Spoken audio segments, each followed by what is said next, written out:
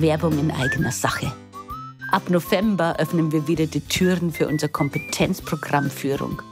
Wenn du Inhaber, Geschäftsführerin oder Führungskraft in einem mittelständischen Unternehmen bist und dich das Thema Führung fit für morgen interessiert, dann lade ich dich ganz herzlich dazu ein.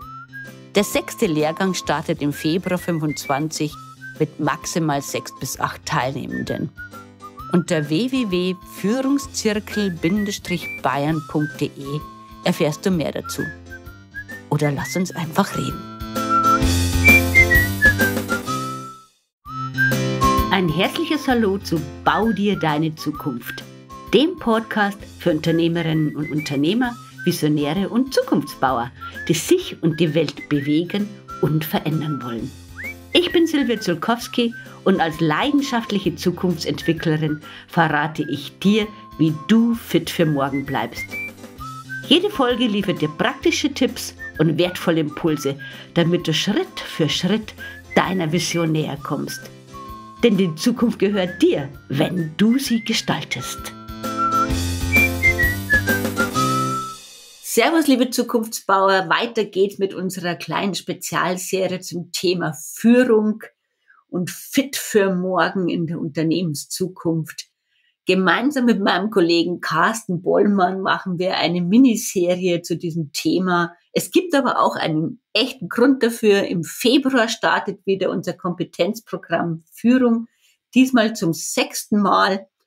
Und wir wollen euch gerne Lust auf dieses Kompetenzprogramm machen, aber so viel Lust geht eh nicht, weil wir haben nur maximal sechs bis acht Plätze.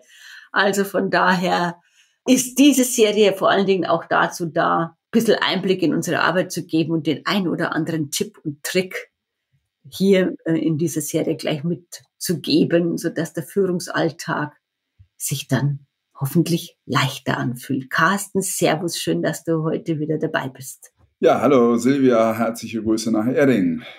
Ja, herzlichen Dank. Wir hatten uns heute das Thema Vision vorgenommen und äh, nachdem ich natürlich die bin, die in der Hauptsache Zukunftsbilder baut, Zukunftshäuser baut und Visionsarbeit macht, haben wir überlegt, wir drehen es jetzt einfach mal um und der Carsten fragt mich. Ja, das will ich gerne tun. Ähm, wenn ich an Vision denke, dann kommt als erstes natürlich unser verstorbener Altkanzler Helmut Schmidt bei mir ins Gedächtnis, ja, der gesagt hat, wer Visionen hat, sollte zum Arzt gehen. Also ich glaube, er hat viele, vieles Gutes gesagt, aber ich glaube, mit diesem Ausspruch hat er gänzlich daneben gelegen. Silvia, warum muss jemand, der Visionen hat, nicht zum Arzt gehen, sondern warum sollte er sich darüber freuen, als, gerade als Unternehmer? Ja, also die, dieser arme Helmut Schmidt hat das übrigens nur in einem Nebensatz gesagt, gell? aber äh, hat sich sein Leben lang darüber geärgert, dass ihm dieses Zitat so nachläuft. Gemeint hat er nämlich ganz was anderes und für ihn war Vision auch ein sehr wichtiges Thema. Ich glaube ganz persönlich, ein Unternehmen, das keine Vision hat, also kein Bild von der Zukunft, kein Zukunftsbild hat, wird sich zunehmend schwer tun, Mitarbeiter zu finden und zu binden. Und außerdem glaube ich persönlich, du kannst kein Unternehmen ohne Vision starten. Ja. Am Anfang war die Idee und die Idee ist meistens sehr groß. Sie darf auch klein beginnen. Das ist oftmals gar nicht das Problem. Aber je größer so eine Idee ist, umso mehr Strahlkraft hat sie auch. Ja.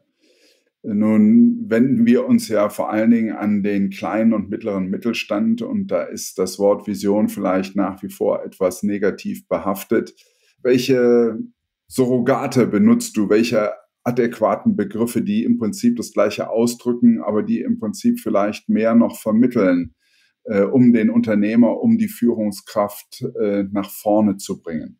Also am liebsten verwende ich wirklich das Wort Zukunftsbild weil das sehr viel Lust auf Zukunft macht. Und ich selber habe eine Methodik entwickelt, die nennt sich Zukunftshaus.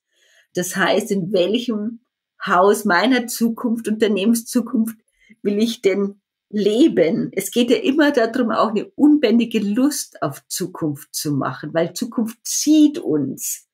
Sie zieht uns förmlich dahin, wo wir sein wollen.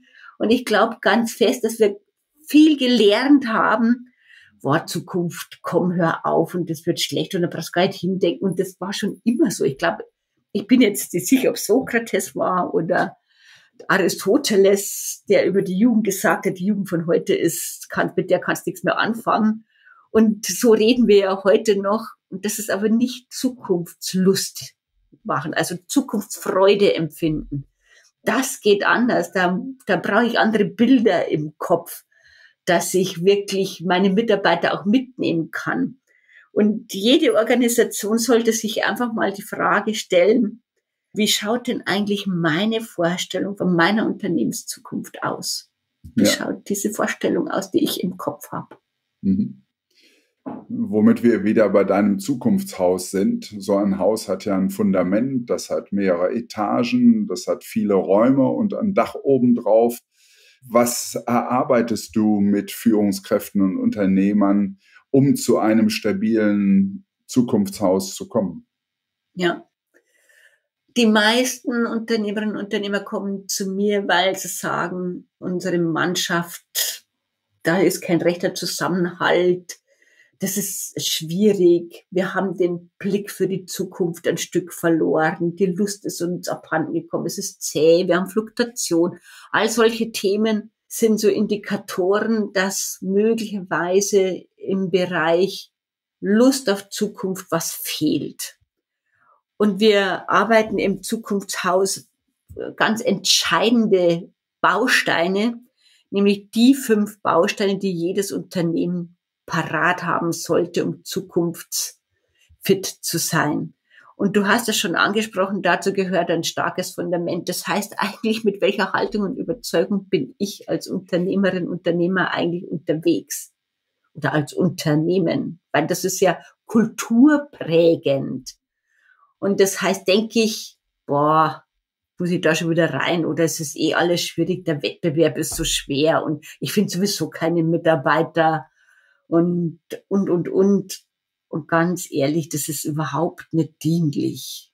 Wir brauchen da ganz andere Glaubenssätze, ganz andere Inspirationssätze, die uns, die uns da tragen. Ich kann mich an eine Kundin erinnern, die gesagt hat, ach, kommen Sie, Frau Zulkowski, bei uns bleibt doch keiner hängen. Wer will denn hier schon hin? Ja, wenn ich mit so einer Überzeugung unterwegs bin, dann befürchte ich, da will da auch keiner hin, weil das strahle ich halt auch aus. Wenn ich mir vorstelle, boah, ja, wir haben hier eine Umgebung, wo Kinder gut groß werden können, wo ein Umfeld ist, das gesund ist, da, da kriege ich die richtigen Leute, die da hinpassen. Die anderen will ich eh nicht.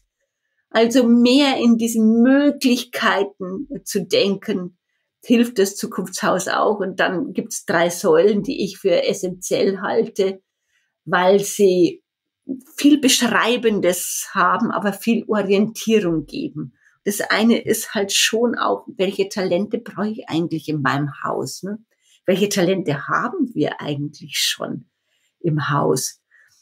Das sich mal anzuschauen, ist wirklich spannend, um zu erkennen, oh, unser Unternehmen hat sich weiterentwickelt, aber wir sind irgendwie fehlen uns noch ein paar Talente, die wir für die Zukunftsfähigkeit unseres Hauses brauchen.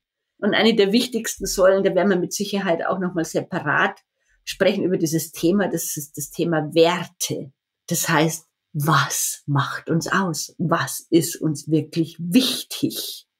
Was soll uns Orientierung geben bei der täglichen Zusammenarbeit? Auch diese Fragen sich zu stellen, macht sehr, sehr viel Sinn. Und was immer wichtiger wird, ist die dritte Säule und das ist der, das Thema Freude. Also einer unserer Kollegen hat einmal gesagt, Reinhard Sprecher war das, Arbeit macht entweder Spaß oder krank. Und das klingt jetzt so ein bisschen banal, aber das ist es überhaupt nicht. Das heißt, wo kriegen wir eigentlich unsere Energie her? Wo kriegen wir das her, was uns im Innersten quasi laufen lässt. Was brauche ich immer wieder, um meine Akkus aufzuladen? Und wenn ich das alles erarbeitet habe, dann weiß ich schon ganz viel und dann kann ich auch ins Dach springen und mir die Vision anschauen. Und das heißt, wohin soll es mit meinem Unternehmen gehen? Was ist das, Bild der Zukunft, das ich gerne hätte. Und das ist bitte kein Bildchen. Mhm. Das darf richtig groß und attraktiv sein. Und es ist auch bitte nicht vom Ego der Chefin oder des Chefs geprägt, sondern es leistet einen Beitrag. Ja, so, und dann ist das Zukunftshaus fertig, so wie du es beschrieben hast. Äh, ich glaube, es ist für jeden absolut nachvollziehbar, dass das jeder Firma gut tut. Äh, wie werden diese Zukunftshäuser, wenn sie fertig erstellt worden sind von der Führungsmannschaft, wie werden sie ins Unternehmen getragen? Ja, ganz ein wichtiger Punkt, lieber Carsten, sonst kann man sich das Geld auch sparen. Hm, sonst ist das wirklich rausgeschmissen. Das ist dann zwar schön und es bewirkt auch was. Das will ich überhaupt nicht sagen, das bewirkt auch was. Aber meine Erfahrung ist, dass der Prozess, damit trägt, dann erst richtig losgeht. Mhm. Und das heißt, am besten ist es, mit Botschaftern zu arbeiten, ein interdisziplinäres Team zusammenzustellen, das das Zukunftshaus baut, daraus kleine Einheiten äh, zu generieren, die sich dann um die einzelnen Säulen kümmern, die Wächter sind für das Zukunftshaus und dann auch die in, in kleinen Einheiten, in größeren Einheiten mit der Kommunikation ins Haus hinein immer wieder schauen, dass das lebendig wird. Und das Allerwichtigste ist, dass ich als äh, Vorgesetzte oder Vorgesetzter das lebe, dass ich wirklich da auch Vorbild bin, dass ich das ernst meine. Wenn ich in meinem Zukunftshaus als Wert Respekt stehen habe, und ich habe es beschrieben, das ist auch wichtig, dass du die ganzen Säulen nicht nur mit irgendwelchen Schlagwörtern be belegst, sondern dass die beschrieben sind, damit wir wissen, was heißt ein Respekt für uns im Umgang miteinander. Ist es, dass wir uns Grüß Gott und Guten Tag sagen? Was ist denn in meinem Kopf drin, wenn ich an Respekt denke? Und das nochmal zu beschreiben, dann hast du wirklich Leitplanken auch für jedes Mitarbeitergespräch, und das Zukunftshaus sollte ins Haus mit reingetragen werden. Es sollte eine Rolle spielen bei jedem Mitarbeitergespräch. Es sollte aber auch schon eine Rolle spielen beim Bewerbungsgespräch. Und äh, viele meiner Kunden haben es auch auf ihrer Website, dass sie sagen, das sind wir. Da, das ist das, auf was du dich einlässt. So wollen wir denken, so wollen wir handeln, so wollen wir uns äh, miteinander, so wollen wir miteinander umgehen. Und da braucht es viele Schritte, damit das wachgehalten wird und jede Abteilung auch versteht. Also wir haben es auch schon so gemacht, dass das gebaute Zukunftshaus in jede Abteilung geht und mit jeder Abteilung nochmal drüber in den Dialog gegangen wird. Stimmt das für euch? Was heißt denn Respekt für euch, wenn ihr im Einkauf seid? Wie gehen wir mit dem Lieferanten um? Das mag eine ganz andere äh, Bedeutung nochmal haben, für den, den im Lager als in dem im Einkauf. Gell? Und deswegen ist es so wichtig, da alle mitzunehmen, um eine gelebte Unternehmenskultur Richtung Zukunft zu erhalten. Ja, man erlebt dich förmlich hier in deinem äh, Spezialthema mit aller Leidenschaft und Begeisterung. Das ist wunderbar, dir zu diesem Thema zuzuhören. Ja, und gerade jetzt der letzte Abschnitt, wenn ich da nochmal zwei Aussagen einfach rausgreifen darf, weil sie so elementar wichtig sind.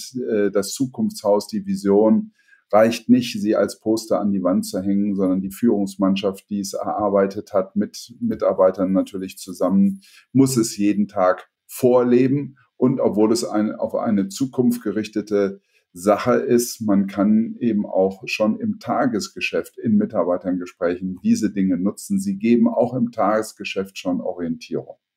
Ja, absolut. Ja, ich glaube, Silvia, das Wichtigste zum Thema Vision und Zukunftshaus haben wir vermitteln können. Und damit darf ich zum Schluss nochmal an dich übergeben, um dann auch unsere nächste Folge schon anzukündigen. Ja, wunderbar. Ich danke dir herzlich, lieber Carsten. Das hat mir jetzt auch richtig Freude gemacht und es hätte jetzt auch noch unglaublich viel zu erzählen gegeben, was das Thema Zukunftsbild, Zukunftshaus, Lust auf Zukunft betrifft. Das Wichtigste ist aber, wenn du am Unternehmen arbeitest, liebe Unternehmerin, liebe Unternehmer, dann ist das eins der wichtigsten Dinge zu tun und das braucht Zeit und Raum. Das geht nicht im Alltag mal eben. Und wenn du eine Unternehmerin oder ein Unternehmer bist, der sehr inspiriert ist, dann kann es auch sein, dass du vielleicht ein bisschen zu schnell bist für deine Mannschaft. Dann immer mal wieder ein bisschen bremsen und die Mannschaft mitkommen lassen, was äh, der nächste Schritt, die nächste Vision etc. ist. Weil das, äh, das wird sonst nix. Die sind überfordert. Lieber äh, eins nach dem anderen als zu viel auf einmal. Aber das große Bild sollte anleiten und äh, immer wieder helfen, dass klar ist, wohin wollen wir. Und das scharrt normalerweise in, in meinem Selbstverständnis automatisch Menschen um ein und zieht Menschen fast automatisch an, weil wir lieben alle Klarheit und hassen Verwirrung und deswegen ist das so wertvoller Punkt. So, jetzt bin ich auch wirklich am Ende, lieber Carsten. Unser nächstes Thema bei unserer Sonderserie wird das Thema Mitarbeitergespräche sein. Ein großes Thema, bei dem man ganz viel richtig machen kann und manchmal leider auch ganz schön viel falsch. In diesem Sinne wünschen wir allen da draußen eine wunderbare Zeit, eine wunderbare Woche. Danke fürs Zuhören. Mir hat wieder sehr viel Freude gemacht, lieber Carsten. Herzlichen Dank für deine Fragen. Sehr bis, gerne. Bis dann wieder heißt, bau dir deine Zukunft und Führung fit für morgen. Vielen Dank, dass du heute gemeinsam mit mir an deiner guten Zukunft gebaut hast. Ich hoffe, du konntest Ideen und Impulse mitnehmen, um sie weiter aktiv zu gestalten. Wenn du mehr über meine Methoden, Angebote, Bücher und Vorträge erfahren möchtest, besuch mich auf www.silvia-zulkowski.de. Leite den Podcast weiter an Menschen, die auch davon profitieren können. Und natürlich freue ich mich auch über ein Like auf Social Media. Sei wieder dabei, wenn es das nächste Mal heißt, bau dir deine Zukunft. Servus, deine Silvia.